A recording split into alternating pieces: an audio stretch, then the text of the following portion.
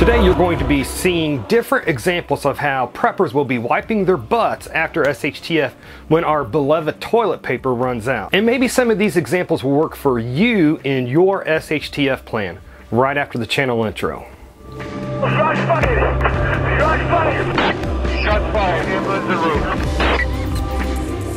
Okay, let's paint the scenario that SHTF has happened. And some kind of an, an, event has caused our grid to completely shut down. And supplies have stopped being delivered to the grocery store. And you can no longer get your hands on the beloved toilet paper that we all love so much. Now many preppers have been stockpiling toilet paper in their prep so that they have a way to wipe their behind after SHTF. Now one problem that I have with that, and this is for myself, is that toilet paper takes up a lot of space to stockpile. And then whatever you do have stockpiled, you really have to seal it up tight because mice and other pests really love that stuff. Now, if stockpiling toilet paper is what you prefer to do, please know that I am not knocking your decision. What I'm just simply doing here is stating options in this video that might help other preppers. And there's a lot of preppers out there that go by the old adage that toilet paper is a recent invention and that the human race went thousands of years before without toilet paper, so if SHTF happens, they will just go without toilet paper again. But for me personally, that is just something that I would really prefer to stave off as long as possible. And then some preppers will say that they're just planning on using leaves or whatever other natural items that they might find around them. And that will probably work to some extent as long as you don't have two feet of snow over your leaves or there's actually uh, fallen leaves to begin with. And then another option is using old rags or torn up t-shirts or torn up shirts or stuff like that to, uh, to wipe your behind with. But we're going to talk more in a minute of how of why I think that is a more of a temporary solution instead of more of a long-term solution. But one of the things that I have done, and I did get this from Canadian Preppers channel, is that I bought two boxes of the 500 count uh, Wysi, Wysi wipes or Wysi wipes, however you say them. So now I have 1,000 of these uh, to be able to wipe my behind after SHTF. And each one of these jars, a jar like this, contains just about uh, 200 Wysi wipes in each one, and then I've got five total of these jars. And if you're not familiar with these uh, wipes, is what you do is you just add a little bit of water to it and then it expands out and then makes a great little uh, wet piece of uh, toilet paper for you. And if I remember correctly, a box of 500 of these will cost you about 35 or 40 bucks per box. Now these still aren't my permanent solution, and we'll get more into my permanent solution here in a few moments, but I definitely think that these Wysi wipes will be a definite temporary solution. And to be honest, I would love to have the amount of money that it would take to buy all of these that I would need for the rest of my life to make these a permanent solution for me. But what I really like about these is just how compact that they are. And then when you just drop them into a little bit of water, they really expand out making a handy little cloth to wipe with. And I have to admit, having a wet cloth to wipe yourself with leaves you feeling a lot more clean than using dry toilet paper. And these things are also biodegradable, meaning that you can bury these with the uh, rest with the rest of your business and they will degrade on their own. Now the way that I store these are is first I put a canning lid on it and then I use my vacuum sealer's lid attachment to vacuum all of the air out of it so these should store for long term. And I've never tried to do a side-by-side -side comparison with these versus toilet paper to see how much more compact these are than toilet paper, but what you're seeing here on the screen now is the equivalent of 1,000 butt wipings. But now let's get into what I think is the more permanent solution for wiping your butt after SHTF. And that's actually getting these reusable cloth wipes that are actually designed for you to wipe your butt with. And these type of reusable cloth wipes are actually getting more and more popular with the people that are trying to live off grid or go the more natural route. Now these cloth wipes, you use them just like you would toilet paper when you're finished using the restroom.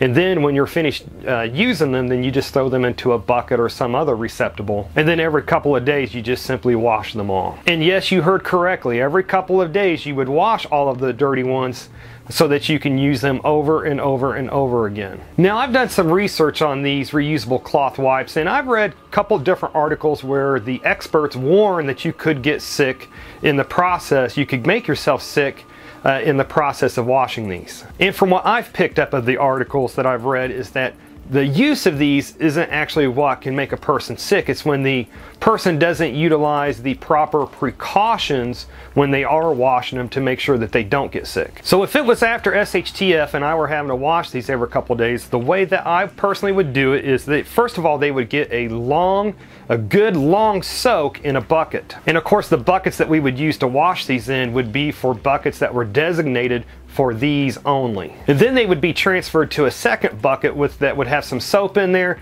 and also a little bit of chlorine that would that I would make from the pool shock to help kill any pathogens that might be in there. Now I wouldn't use so much bleach that it would start tearing down the fibers in the cloth, but just enough bleach to kill any pathogens that might be in the water and that might get on uh, your clothes or on you as you're washing them. And then after that thorough washing, then they would be transferred to another bucket for a thorough rinsing. And then they would be hung up to dry after that where the sunlight, the sun's rays would actually kill any pathogens that still remained on them. And then I guess if you actually have the extra firewood, it probably wouldn't hurt for you to get the water that you're going to wash these in uh, extremely good and hot to also again help kill any pathogens that might be on these. Now these things seem to run between 50 cents to a dollar per cloth wipe just depending on how fancy you get them and then depending on where you buy them at. And where I purchased mine at, I will actually put a link down below uh, so you can check them out if you're interested. Now I have actually tested these out and I will be honest with you, you get them a little wet before you use them and again these will leave you feeling a lot more cleaner uh, than regular dry toilet paper does. Really the only advantage that I see toilet paper having over these cloth wipes or the sea wipes is that when you're finished with toilet paper, you just throw it in the toilet and, and, it flushes and it goes away and you don't have to worry about it anymore. Now the reason why I think that old rags and cut up old t-shirts are more of a temporary solution is, is because once something starts falling apart on you, that's when you convert it into a rag. And I believe that these reusable cloth wipes are made to be much more durable for continuous usage and also the heavy duty washing that you'll put these through. Now I think that it wouldn't hurt to keep old rags and old t-shirts and stuff like that around that you could cut up to use for toilet paper. I just don't think they will last as long as these will. Now like most things in prepping, everything has a ripple effect. So if you do opt to go with this route, then you will obviously need the extra water in order to be able to, to, to do the washing with them. And that's just another reason why I suggest every prepper, if they can, to have a rainwater catchment system so that they have uh, the extra water to do stuff like this. Now, if I lived in an apartment where I could not have rainwater, then I, what I would do then in that case is I would buy a lot more of these Wysi wipes uh, to use those instead. And then again, for uh, obtaining the bleach or the chlorine to wash these with, I've done a video in the past of how you can actually make your own bleach out of pool shock which would be great for after SHTF, and I will put a link to that video down below. Now, I think the important thing to consider is that eventually after SHTF, all of this store-bought store stuff will be used up. The, if you use toilet paper or stockpile toilet paper, eventually that's going to run out. If you buy bunches of these Wysi wipes, eventually they're going to run out also. So we're going to eventually be forced to go to something that's reusable or renewable like these cloth wipes. And of course, over time, these too will also eventually break down, just like when you wash your clothes and wear them. Eventually they will break down too. But my personal thoughts are, by the time these actually break down to the point that they are no longer usable after SHTF, then I think at that length of time, as SHTF has continued and progressed, that you will see a lot of people that will start utilizing or, or starting uh, old-time skills like making uh, like making fabric out of uh, out of wool, etc. So I think that the smart way to play this would be that after SHTF that you do use your old rags and your old cut up shirts until they just completely fall apart on you. And then when it's that time of the season when you have large leaves that you can collect, then you use those so that you're sa- you're you're saving any rags or Wysi wipes or these reusable cloth wipes as much as possible. And then when you can't get your hands on any uh, leaves or anything like that, then you go to your Wysi wipes and then you go to these reusable cloth wipes. Uh, the the idea behind this is that you're using as much as everything that you can uh, to extend everything as much as possible. And so if you're interested in these Wysi wipes, I will put a link down below to Canadian Prepper's website where he sells them there. And then if you're interested in checking out these reusable cloth wipes, I will also put a link down in the description box also. And folks, this video was about how preppers will be wiping their butts after SHTF, not what we will be doing with our waste. That is a whole separate video for a whole separate time. Now let's see if we can make this video a wealth of information for anybody that stumbles across it. What is your plan for wiping your behind after SHTF? Are you stockpiling toilet paper or are you planning on using something else? And if you would like to learn how preppers make their own homemade bleach, their own homemade chlorine when the stores are closed and you can't buy bleach off the shelves anymore, then click on the video that should be appearing at the top of the screen just about now to learn more about that. And to learn about an extremely simple and extremely cheap way that preppers can do laundry after SHTF, then click on the video that should be appearing on the right side of the screen just about now. Anyways folks, if you made it this far, hey, thank you very much for watching, and I pray that you have a good night.